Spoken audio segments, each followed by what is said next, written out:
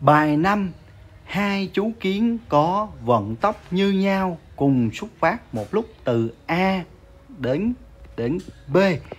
Được chưa ạ? À? Theo hai con đường cong thứ nhất và đường cong thứ thứ hai. Hỏi chú kiến nào bò về đích trước, thì cái đường cong này, các bạn nhìn vào đường cong này có phải là nửa hình tròn không ạ? À? Vậy các bạn phải nhớ đến công thức chu vi chu vi của hình hình tròn hình tròn. Thì phần lớn người ta ký hiệu bằng chữ C đó các bạn. Chu vi hình tròn là C. Sẽ bằng gì ạ? À? đường kính nha. Đường kính nhân 3 phớt 10 14 D này chính là đường kính. Được chưa à? đường kính. Vậy nửa chu vi sẽ lấy chu vi chia hai. Được chưa vậy ta sẽ tính được con kiến đi theo đường cong thứ nhất trước. À, gọi là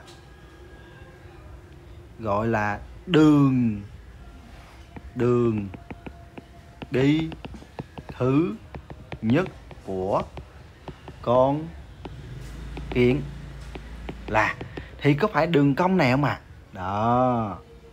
Vậy đường kính là a ab vậy ta sẽ có gì à đó là nửa chu nửa chu vi của hình tròn. Vậy ta lấy ta sẽ lấy đường kính là a b nhân với 3,14 rồi chia 2 và các bạn để ý đi à AB có phải bằng đoạn AE cộng EF cộng FB vậy ta sẽ phân tích ra là AE cộng EF cộng FB nhân 3 phớt 14 rồi chia chia 2 tương tự, ta tính đường đi thứ hai của con kiến là, thì đường đi thứ hai có phải là nửa cái hình tròn đường kính là e không à? Cộng với nửa đường tròn đường kính EF không à? Cộng với nửa đường tròn đường kính FB không à? Vậy mình sẽ cộng. Vậy là đường a e nhân 3 phát 14 nửa đường tròn thì chia 2 cộng. Tiếp tục.